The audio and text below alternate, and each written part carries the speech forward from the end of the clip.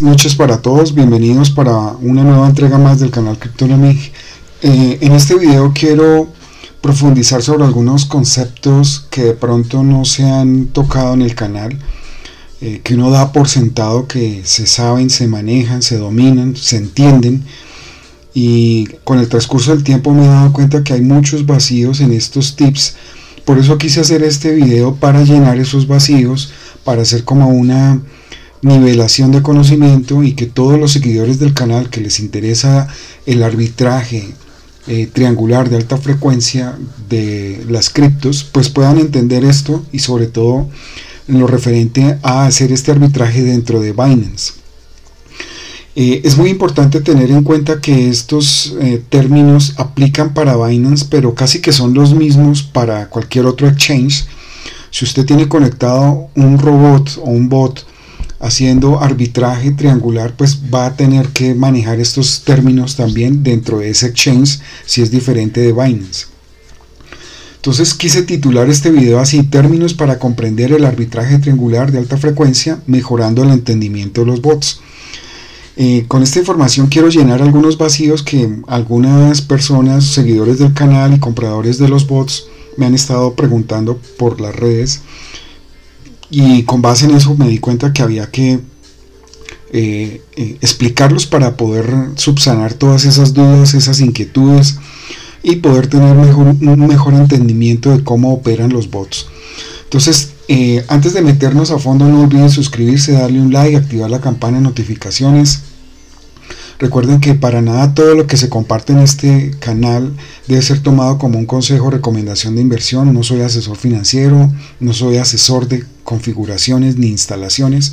Les comparto eh, lo que yo puedo en la medida de mis capacidades. Les hago, las, les hago la transferencia de conocimiento de lo que humanamente sé, domino, he probado y con conocimiento de causa les puedo transmitir. Pero esto debe ser tomado todo como información y como eh, educación, no asesoramiento. Entonces, antes de meternos a fondo, hay que entender esto. Existen unos tipos de órdenes dentro de cualquier exchange. Para eso les cito las fuentes de donde obtuve esta información y se las dejo en la descripción del video para que ustedes puedan entrar y verla. Cuando ustedes entran en, en el Binance Academy, van a poder ver, eh, a tener acceso a esta información, que los invito a que la lean, son lecturas muy rápidas, 5 o 10 minutos, pero les van a dar eh, habilidades de trading, les va a permitir tener fundamentos y mejorar su aspecto de entendimiento de la economía. ¿Sí? Aquí les dejo los enlaces en la descripción del video para que ustedes puedan entender qué es una, los tipos de órdenes, por ejemplo, qué es una orden market, que es una orden limit, que es una orden OCO, etcétera, etcétera. Entonces ustedes van a poder tener esta información, van a poder entenderla aún mejor. Eh, estas son las órdenes OCO, One Cancel the Other. Eh, entonces es muy importante que usted maneje esto. ¿sí? Si usted no maneja esta información, pues va a estar patinando, va a tener vacíos no va a entender aspectos importantísimos de lo que su bot está haciendo con el arbitraje de alta frecuencia, entonces va a quedar perdido y obvio eh, va a tener lagunas y vacíos en su configuración y por ahí pueden estar eh, las falencias de fundamentación técnica para entender cómo eh, saber sacarle el mejor provecho a su bot. Aquí también hay otro sobre entender qué es un maker, qué es un taker, cómo, cómo puedo cambiar de rol entre maker y taker. Esto también es importantísimo que se los lean, también se los dejo en la descripción del video para que lo puedan. Y este último es qué es un mercado spot, cómo hacer trading en el mercado spot. Y hay un pequeño resumen que es muy rápido de leer. Explican cómo se hace el trading en el mercado spot, cómo se monta una orden, cómo se analiza el volumen para que esa orden se ejecute o no se ejecute. Recuerden que eh, uno puede colocar una orden en, el libro de órdenes, pero si no el mercado no llega a, ese, a esos triggers que nosotros hemos estipulado para que esa orden se dispare, pues la orden sencillamente no se ejecuta.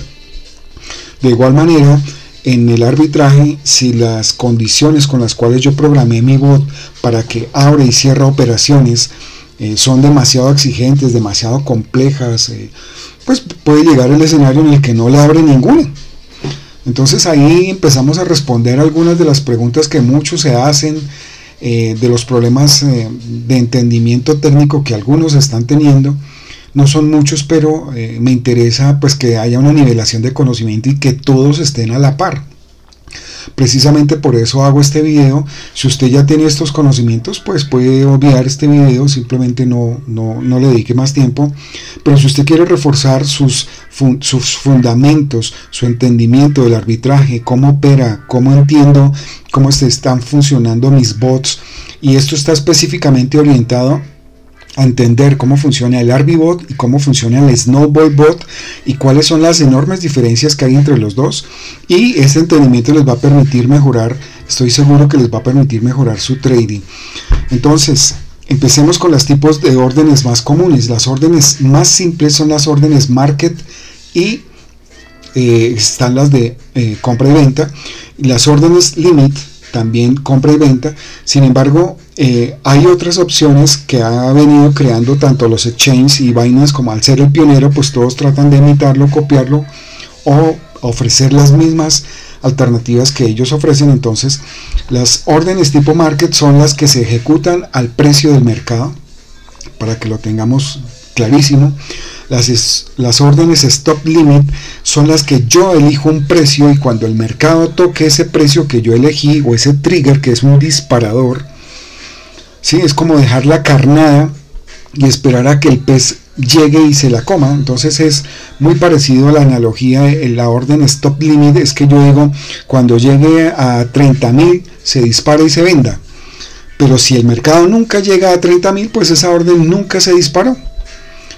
Es así de simple. Y las órdenes OCO, que son one cancels the other, entonces yo le puedo decir, eh, si llega el precio a 30 mil, por ejemplo, del Bitcoin, ejecútese. Si no llega a 30 mil, ejecútese en 29.990. Entonces, cualquiera de las dos, la primera que se ejecute, cancela la otra. ¿sí? Si llegó a 29.990, yo le puse ese como uno de, los, de las dos opciones, canceló la de 30.000. Ese es el funcionamiento de las órdenes OCO. Entonces, hay algo importantísimo que aplica en el arbitraje eh, de alta frecuencia y es los tiempos de vigencia. ¿Mm? Este es un concepto importante que hay que entender al hablar de órdenes. Eh, es el tiempo de vigencia. ¿Por qué? Porque es lo que le da la velocidad a la operación de arbitraje. Entonces esto tiene que ver con lo que les explicaba en el video anterior, que todas son como eh, personas haciendo fila en un banco. ¿sí? Y ese tiempo de vigencia es, hagan de cuenta, el banco tiene un horario de atención al público que es de 8 de la mañana a 12 del día. Yo entré en la cola, pero resulta que a las 12 del día el cajero se levantó y dijo, no, me voy a almorzar. Y mi orden no fue ejecutada, quedó ahí. Entonces, eh, estos tipos de, o estos tiempos de vigencia mejor, se tratan de un parámetro que uno especifica al abrir el trade para dictar las condiciones de caducidad de esa orden. Yo le puedo decir, ciérrese a los 30 minutos, ciérrese a los 5 minutos. Para efectos prácticos, si lo vemos acá dentro de nuestro Finandi, por ejemplo, yo aquí le puedo estipular, eh, si lo alcanzan a ver, voy a señalarlo un poco mejor para que se vea. Eh, yo le puedo señalar acá dentro el tiempo de cancelación de una orden. Por eso es tan importante entender esto porque nos va a facilitar la comprensión de cómo son los tiempos de vigencias de órdenes. Si ustedes lo ven aquí, podemos, ese tiempo de cancelación de la orden yo se lo puedo dar en segundos, en minutos, en días, en semanas, en meses.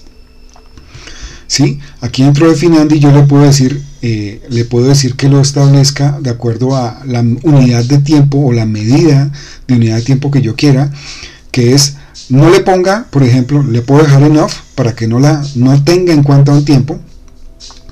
Le puedo decir segundos, minutos, horas y días. ¿Sí? Si yo quiero que la orden dure 365 días, pues le coloco ahí 365 y a, a la derecha days. Así de simple. Entonces, esto es importante. Ahora, ¿cuáles son los tipos de vigencia que tiene una orden? Hay tres. El primero se llama la GTC o Good Till Cancelled. Esta es una instrucción que estipula que un trade debe mantenerse abierto hasta que sea ejecutado o manualmente cancelado. Por eso es que a veces hay operaciones que pueden eh, durar minutos, horas, días o semanas. Si yo no la estipulé, digamos que en el arbitraje triangular, como son tres operaciones, ¿sí? las tres aristas del triángulo, las dos primeras por lo general se hacen a velocidad muy rápida, pero a veces la tercera eh, eh, fluctúa porque hay un, un movimiento brusco en el mercado y no se alcanza a ejecutar. Entonces, esta GTC, pues como no tiene una condición de tiempo por defecto, puede durar lo que el mercado la, sostenga. ¿sí? No tiene un disparador de tiempo de 15 minutos, 15 segundos, 15 días, nada. Entonces puede seguir ahí. En los mercados de valores una alternativa habitual es cerrar la orden al final de la jornada bursátil. Sin embargo, dado que los mercados de criptomonedas operan 24/7, GTC tiene una mayor prevalencia. Esto es importantísimo que lo tengan en cuenta. GTC, esta sigla, Good Till Cancelled. Otro tipo de orden es la Immediate or Cancel o IOC por sus siglas en inglés. Estipulan que cualquier parte a la orden que no se complete de forma inmediata deberá ser cancelada. Supongamos que envías una orden para comprar 10 BTC a 10 mil dólares, pero solo puedes comprar 5 BTC a dicho precio de ejecución. En ese caso comprarás los 5 BTC en cuestión y el resto de la orden se cerrará. ¿Sí? Entonces se ejecuta inmediatamente o se cancela, no se deja abierta. Ese es la el segundo tipo de órdenes en lo que a tiempo de vigencia se refiere. Y la tercera es la FOC, Fill or Kill, por sus siglas en inglés FOK. Esta orden FOK o bien se completa de forma inmediata, o sea, el fill, o se cancela. ¿Sí? Si tu orden le indica al exchange que compre 10 BTC a 10 mil dólares, este no la completará parcialmente, si la orden o me vende los 10 o no me vende nada. Es como, como una orden caprichosa, ¿no? O todo o nada. O me vende los 10 y le a 10 a mil dólares o no me venda nada y ciérrese. Entonces es importante tener en cuenta cómo funciona la FOC para que comprendamos mejor cómo están programados los algoritmos de funcionamiento de estos bots de arbitraje cripto fiat. Entonces, si la orden completa de 10 BTC no está inmediatamente disponible a dicho precio, la misma será cancelada. Entonces, ¿cuáles son las órdenes o los tipos de órdenes en vigencia de tiempo con los que trabaja el Arbibot y el Snowballbot?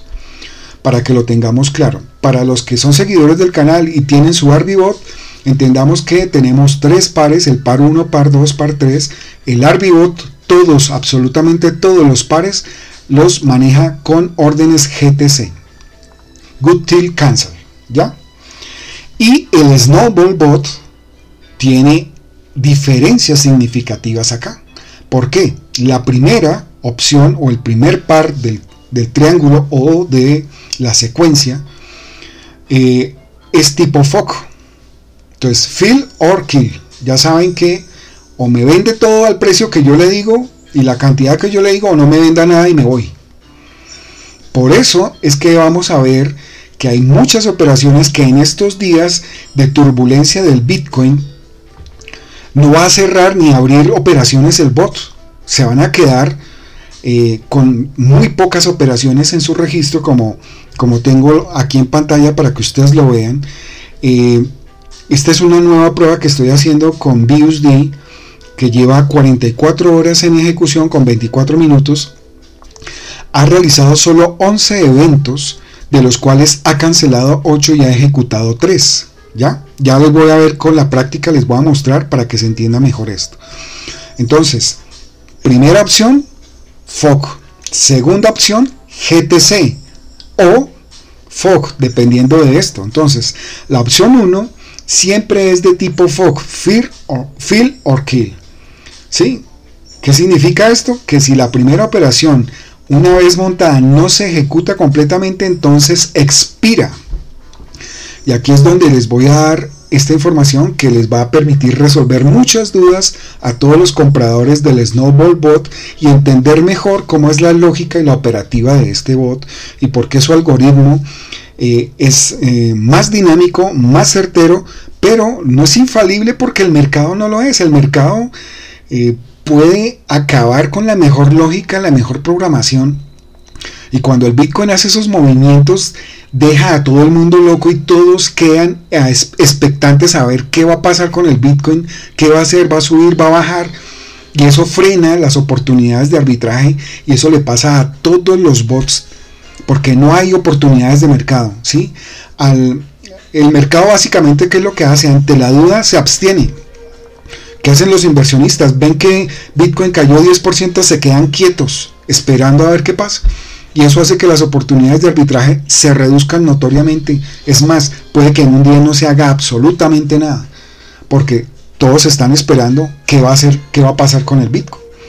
Entonces, esta orden FOG, cuando ustedes la miran dentro de su mm, Binance, yo los invito a que entren aquí en el menú de orders, van a Spot Order, porque estamos en un mercado spot, recuerden.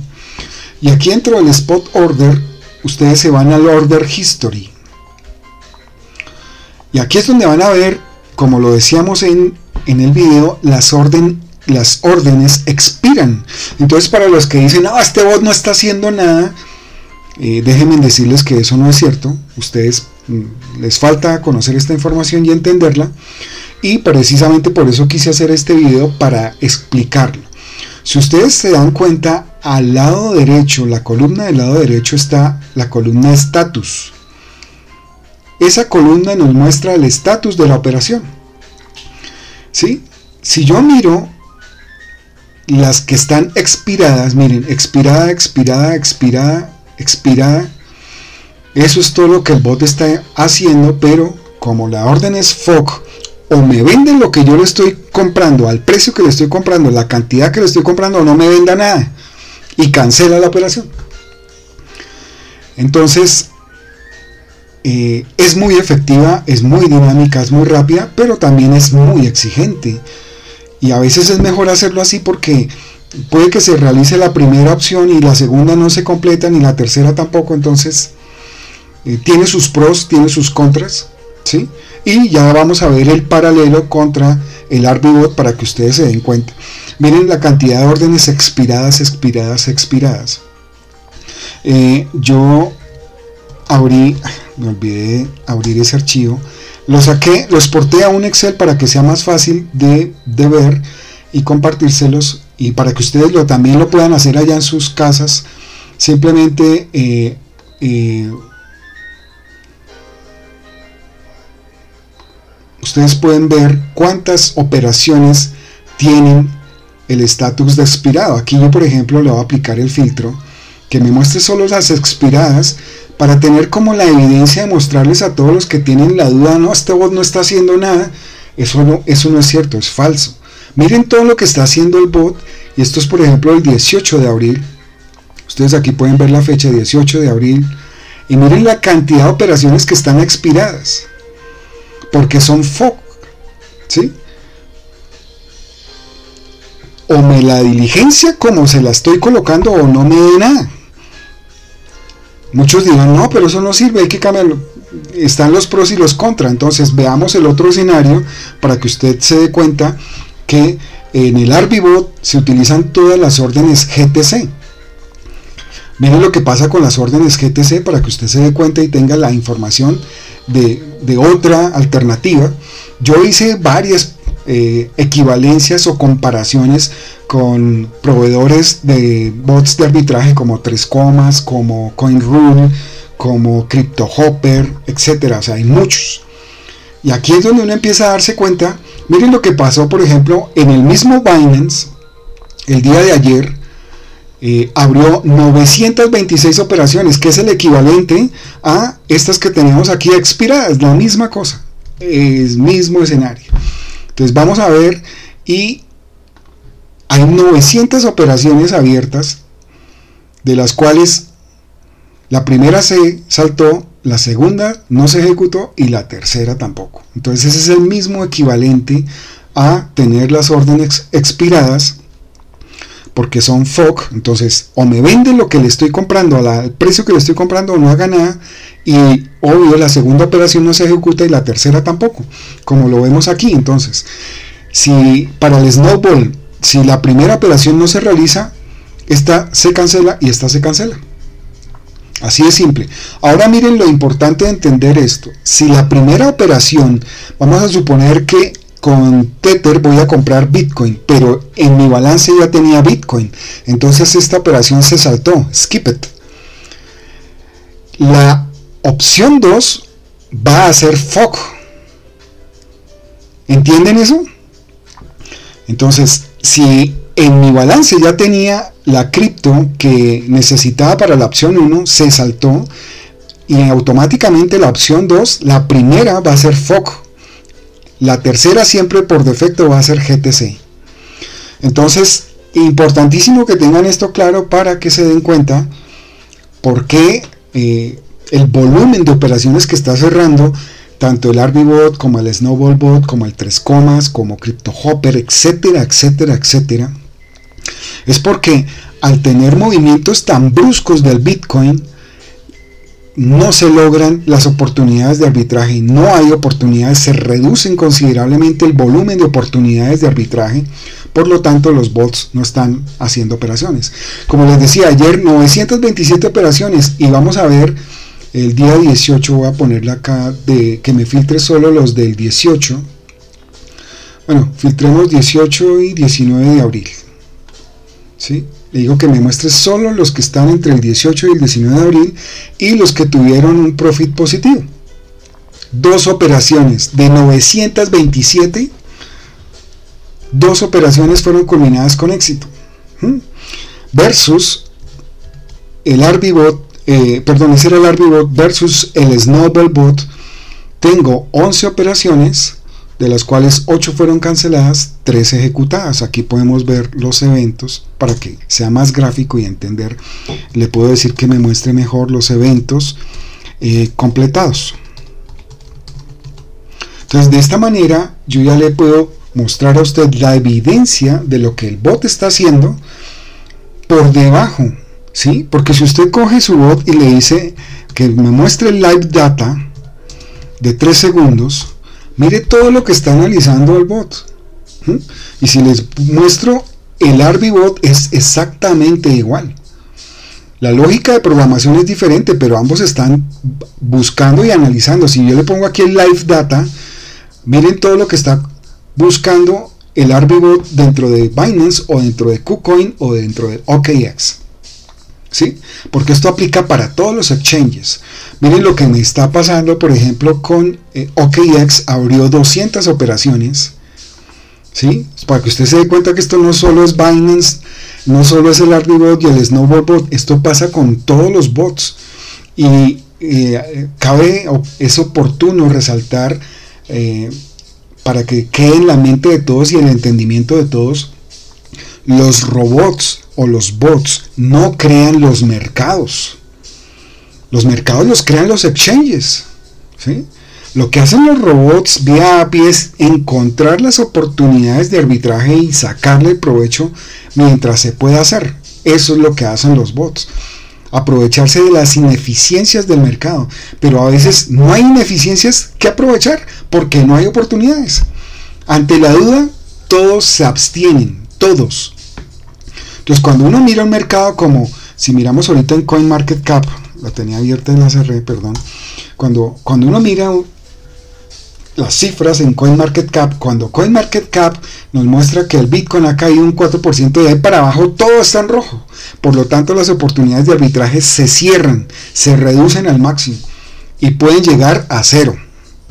Entonces, no es que el bot no sirva para nada, sea la marca que usted tenga, sea la referencia que tenga, sea el código que tenga, lo esté pagando mensual, semestral o vitalicio, eso no importa. El mercado no está dando oportunidades para ningún exchange. Entonces les estoy mostrando aquí tanto, eh, esto es OKX, miren OKX, les voy a mostrar KuCoin, con KuCoin apenas 37 operaciones. ¿Sí? Y si filtro las que son positivas, pues me va a dar muy pocas también. Como unas 10, 2, 4, 6, 8, 10, 12. Entonces esto está pasando a nivel mercado cripto. Sin importar el exchange en el que usted tenga, sin importar el bot con el que usted trabaje, el algoritmo con el que usted trabaje, la programación, la configuración que le tenga, simplemente el mercado no genera oportunidades cuando hay tanta incertidumbre por lo que el Bitcoin hace. Miren, el Bitcoin eh, desafortunadamente o afortunadamente es el que manda la parada y el que establece las reglas de, juego y el que mueve el mercado a su antojo. Los demás simplemente lo siguen. Entonces, si ustedes se dan cuenta, aquí está eh, en la temporalidad de días. Hemos tenido una semana para olvidar o para amar, dependiendo de la óptica en la que usted lo mire. ¿sí? Porque esta semana hubo eh, lo que fue el 8 de abril, 9, 10, 11, hubo estabilidad. Fue genial, abrieron muchas operaciones, fue espectacular. El 12 ya empezó a complicarse. El 13 volvió a subir, el 14 se mantuvo, el 15 bajó, el 16 se quedó ahí lateralizado, 17 bajó, 18 volvió a subir. Miren, y eso hace que entre en pánico el mercado las, las criptos, de, las demás criptos siguen al Bitcoin. Y si el Bitcoin no sabe para dónde coger o se lateraliza, las oportunidades de arbitraje se reducen o desaparecen. Entonces, con esta información quiero eh, mostrarles que es muy importante que entiendan que el bot sí está trabajando. Los, sus bots, lo que usted compró, el algoritmo que tenga, sea con el proveedor que sea, si están analizando operaciones, si están corriendo pruebas, si están estableciendo patrones, pero desafortunadamente las oportunidades de arbitraje cambian diametralmente. Miren todas las operaciones expiradas que ha hecho mi Snowball Bot eh, en, estos días. ¿sí? Son muchas. O sea, yo hice, apliqué el filtro por eh, estatus de expirado y son muchas. Y de igual manera, el ARBIBOT, miren, 926 aquí, 37 aquí, 201 aquí. Y aquí tenemos dos exitosas, aquí 10 y aquí como dos. En, OKX es el menor, pero para verlo realmente claro y no suponer, eh, le doy clic en este, en este icono y entro en, el Activity Stats. Y aquí podemos ver que la eficiencia es de 8.51. Solo tiene 4 operaciones completadas. Si lo pongo en KuCoin, son 12 operaciones completadas con un 34% de efectividad. Y si lo pongo en, en Binance, son 10 operaciones completadas con un 40% de efectividad. Entonces, esto es importante para que usted lo conozca. Recuerde, entre si en su back office de Binance, va al menú de orders, entra en Spot Order y ahí usted mismo puede ver en el Order History, les voy a señalar aquí para que sea fácil de recordar en una sola imagen. Y de esta manera ustedes en sus propios back office pueden analizar la información, verla y entenderla. ¿Sí? Recuerden que entran, eh, para hacerlo claro, entran aquí en el menú de Orders, luego entran en Order History y filtran la casilla por estatus. Todo lo que esté expired es lo que el Snowball Bot analizó, revisó y luego por, por ser la primera orden tipo FOC todas estas expiradas es porque o me venden lo que yo le estoy comprando, la cantidad que estoy comprando en el tiempo que estoy comprando, o no me venda nada. Y si eso pasa, pues va a ser expirada y va a seguir con una nueva oportunidad porque esa no fue. Es así de simple, lo quise hacer lo más entendible posible para que usted domine y maneje esta información. Miren la cantidad, tenemos más de 20 hojas. Si yo voy a la, a la página 20, aquí me encuentro expiradas, mire. Si voy a la 19, encuentro expiradas. Por eso yo saqué todo el listado aquí y se lo puedo mostrar. Hay una cantidad de órdenes expiradas brutal, muchísimas más que en el Arbibot. Eso quiere decir que el Snowball Bot trabaja más duro que el Arbibot. Entonces, con esto em, quería eh, nivelar el conocimiento, darles a ustedes mayor entendimiento para que puedan eh, apropiarse de esta información, para que no se desesperen, para que sean pacientes.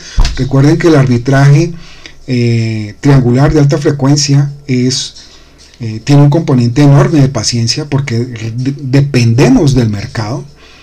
Los bots no crean el mercado, solo encuentran las mejores oportunidades que el mercado ofrece, pero si el mercado no está ofreciendo oportunidades, pues simplemente el bot pues no puede hacer nada porque no las puede crear de la nada, no es mago, no es magia lo que está haciendo, él simplemente trata de encontrar las ineficiencias que el mercado tiene y tratar de sacarles ventaja o utilidad a estas ineficiencias o ineficacias del mercado. Si no las hay, porque hay pánico, porque hay duda, porque hay temor, pues obvio no se van a dar operaciones, no vamos a tener que tener operaciones brutales.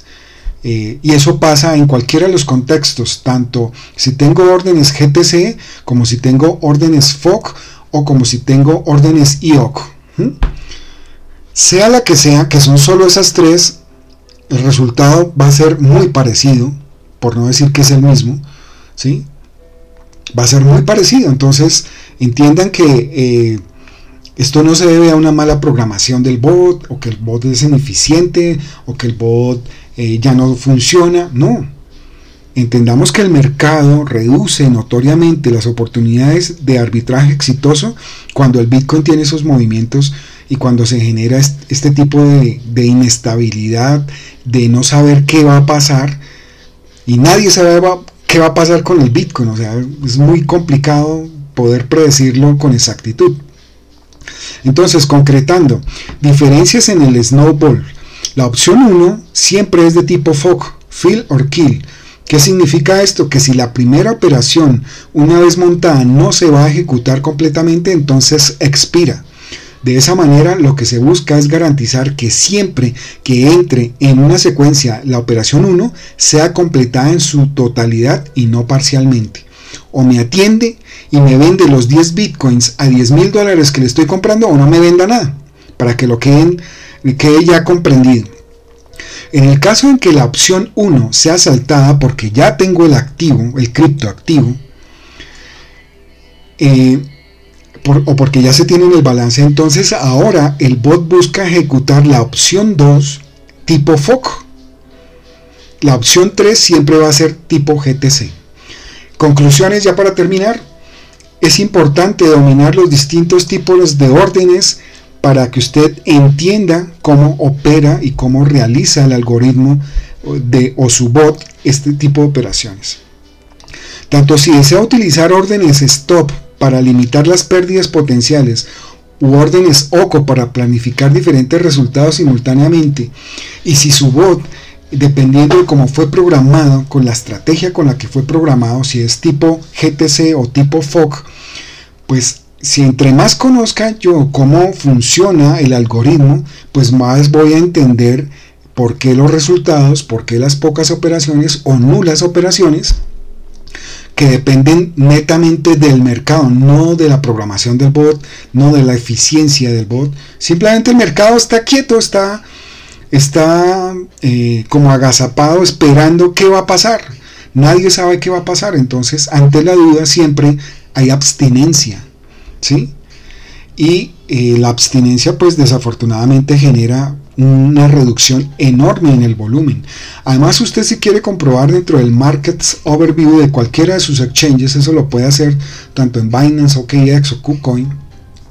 Usted mismo puede darse cuenta que cuando entra aquí en el mercado de spots y en el mercado futuros está pasando lo mismo. Si usted entra y, por ejemplo, eh, en el escenario que tengo ahorita configurado en el Snowball, porque quise hacer otras pruebas, me tocó parar la que estaba haciendo de acumular BTC para poder hacer otras pruebas. Entonces, estoy corriendo en este momento para acumular BUSD y ustedes ven que el volumen hace reducido enormemente. Aquí hablábamos de mil millones y hay 500 ahora. Mil, 1200, 1500, 1700, ahora hay apenas 500 millones. Y para Tether es igual. Para Tether hablábamos de 1.3 billones. Ahora mire, 2.6, 2.626 eh, millones. Entonces, la reducción del volumen y, la operatividad dentro de los mercados de los exchanges se ha reducido considerablemente, enormemente. Cuando el Bitcoin pega estos saltos así, que sube un 10, que baja un 10, todo se detiene, mire, todo está en rojo, todo. El único que tiene en este momento cifrar en verde es OG, Omisego, de resto todo está en rojo. Si miramos en CoinMarketCap pasa exactamente lo mismo. Entonces, para que usted eh, allá en su casa lo entienda, cuando el Bitcoin tiene sus movimientos de esa manera, todo el mercado lo sigue. Mire, todo el mercado está en rojo. Cuando todo está en rojo, las oportunidades de arbitraje se reducen o prácticamente son nulas, no existen. Miren esos números rojos. Eso parece una sangría. ¿sí? Caídas del 7, 10.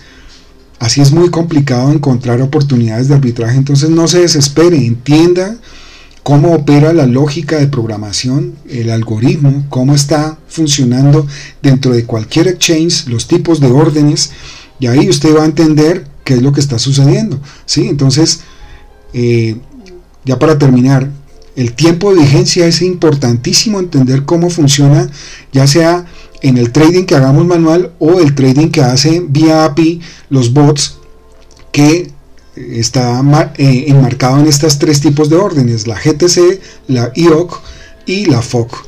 Entonces, esto es todo lo que quería compartirles. Aquí está el resumen, lo que hace el Arbibot, par 1, par 2, par 3, todas son órdenes GTC, lo que hace el Snowball Bot, opción 1 es FOC, opción 2 dependiendo, y la opción 3 siempre va a ser GTC. Esto es todo lo que quería compartirles en este corto video. Muchas gracias a todos por su atención. Nos vemos en la siguiente entrega. Les dejo los enlaces en la descripción del video. Un feliz día para todos.